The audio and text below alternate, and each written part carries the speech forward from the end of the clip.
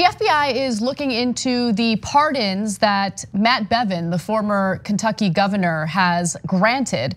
And he granted these pardons right before his uh, governorship was up. As we all know, uh, he lost his reelection bid.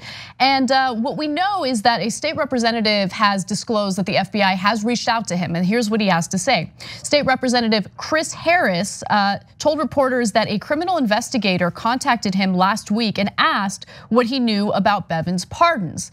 Now, I want to be clear about something for, for those who maybe haven't followed this story from the beginning. Matt Bevin didn't pardon non-violent offenders, maybe people who were caught with possession of marijuana. Now, in that case, those pardons would be completely fine. That's something that we're very supportive of because non-violent uh, individuals who had possession of drugs do not belong behind bars. What he did do was pardon convicted felons who were convicted of violent crimes, things like homicide and rape. Let me give you more. Harris did not elaborate on what questions were asked uh, by this investigator, and he declined to say which law enforcement agency contacted him. But here's what he did say I can confirm that I've been contacted by someone looking into the pardons that were issued by Governor Bevin on his way out the door. The impression I got is there was an investigation ramping up. It may be a formal investigation or it may not be a formal investigation, Harris told the Courier Journal. It may be just calling to see if there's anything there to warrant a full investigation. I can tell you, at least, there are questions being asked. Now, two sources with knowledge of the inquiry told the Courier Journal on Monday that an FBI agent had spoken with Harris. An FBI spokeswoman declined to comment, saying the agency could neither confirm nor deny the existence of said investigation when reached late Monday night. So just to go back and give you specific examples of the type of people uh, Bevin pardoned, the Courier Journal reported that Patrick uh, Baker's brother held a campaign. Uh, Patrick Baker was one of the people that was pardoned. He was convicted of homicide. His brother actually held a campaign fundraiser at his home for Bevin in July of 2018 that raised $21,500. The former governor also received a letter from business executive Terry Forcht, who, uh, one of the state's Republican mega donors, urging Bevin to pardon Baker. Okay, guys, so we talked about this on Friday, but uh, that's a really important development about Forcht. Uh, so that information was not available to us at that time. And so now the Courier Journal in Kentucky is reporting that uh, there's actually over 650 people that he has pardoned or commuted the sentence of. And one of my theories on Friday was that part of the reason he pardoned so many people is to hide the donors that he pardoned in the middle. And so some of the pardons are so heinous, as we're gonna get to in a second, that it kind of distracts you from uh, from the Baker pardon. Uh, and Baker is a guy who committed uh, murder and tampered with evidence, impersonated a police officer, and did a robbery. And this is not a pardon of a guy from oh, he did it back in '87 or something. No, he did it in 2017, two years ago. And so his family is very well connected, gives what I call legalized bribes to Bevin. Now, the media oftentimes says, no, those are not bribes. In fact, every time they say, no, those are legitimate campaign contributions. Well, when the, these guys give him $21,500 and then they say, hey, wouldn't it be great if our uh, brother was out of prison? And then all of a sudden his brother comes out of prison. What the hell do you call that? That is a bribe. And by the way, it's a bribe when these guys do it. It's also a bribe when ExxonMobil does it when Pfizer does it, when any company does it, it's obviously a bribe. But Forcht is a super important development because he has given at least $2.8 million to state and national political causes over the last 40 years, including more than $100,000 to Bevin's campaign and, in, and inauguration fund. So it's not just the 21,000.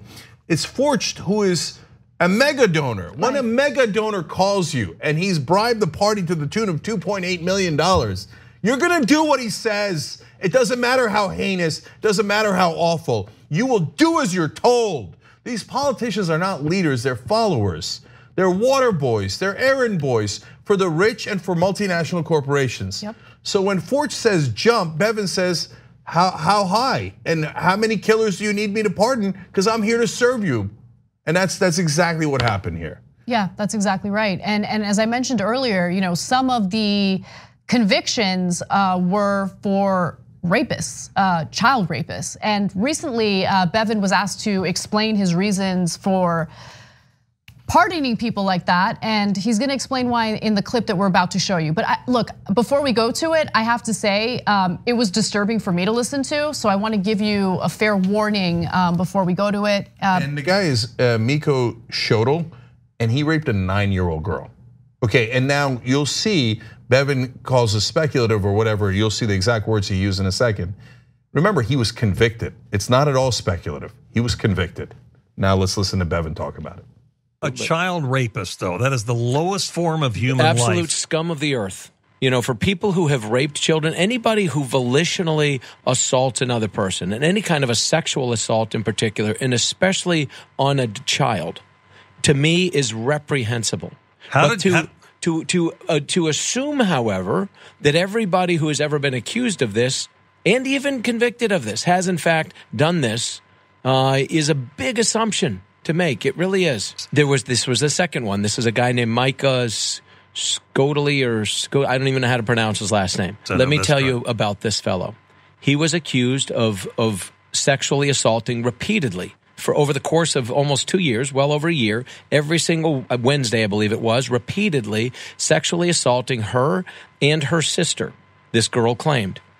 She said that every week he came in and sexually assaulted me and my sister. Well, the sister, who was in the same room every time, every denied all of it.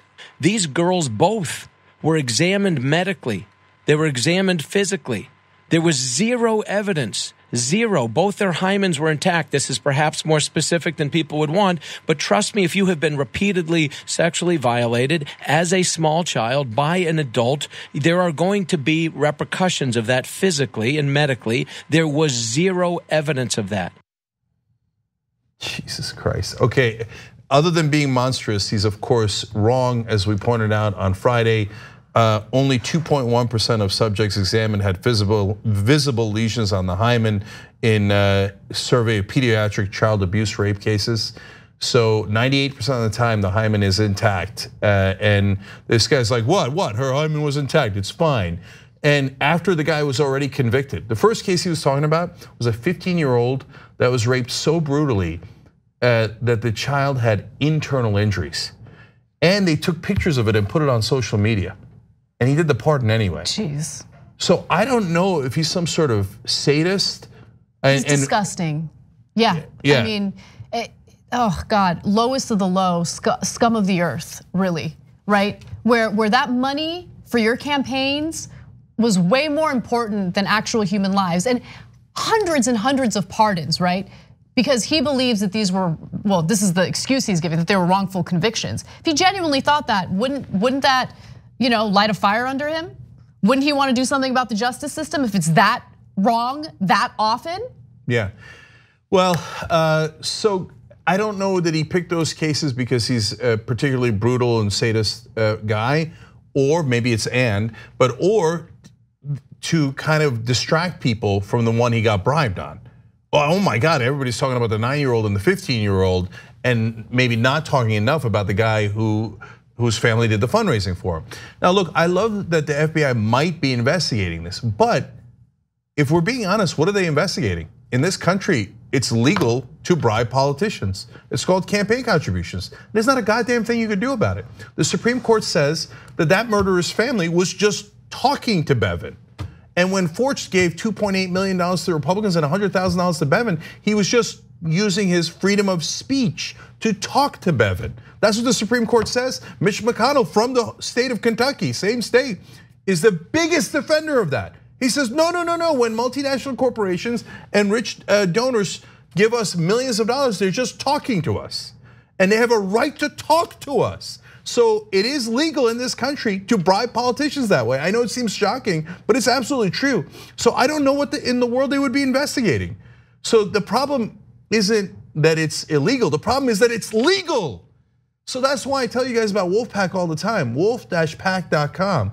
Because if you don't get the money out of politics, what the hell are we doing? I know other groups that care about money in politics, and they, they mean well, but they say things like, well, we're gonna take action when there's a big scandal. the whole thing's a scandal. And now, can you get a bigger scandal than this? to let murderers and child rapists go because of campaign contributions? And what are we doing about it? What are we doing about it?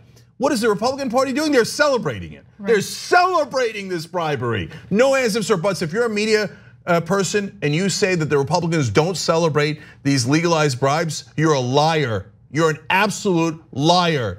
Mitch McConnell and the Republican Party love this system where you could give campaign unlimited campaign contributions to politicians through super PACs, fundraisers, wine caves, etc. Which leads me to the Democrats. Unfortunately, 80% of the Democratic Party also loves this system, also celebrates it. So spare me their fake outrage on this issue. For real Americans, by the way, 93% of us, including Republican voters, hate this system. They know that it's corruption. But the band marches on and pretends that Bevin is an outlier. It's some sort of unusual case. No, it's the same exact thing as everyone else, except instead of getting bribes to help the oil companies destroy the planet, as an example, or from insurance companies to destroy our healthcare system, where, by the way, because of private insurance, 45,000 people a year die.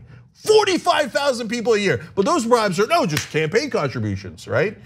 In this case, it happens to be murderers and rapists, but it's a bribe any way you slice it. Thanks for watching The Young Turks, really appreciate it. Another way to show support is through YouTube memberships. You'll get to interact with us more. There's live chat emojis, badges.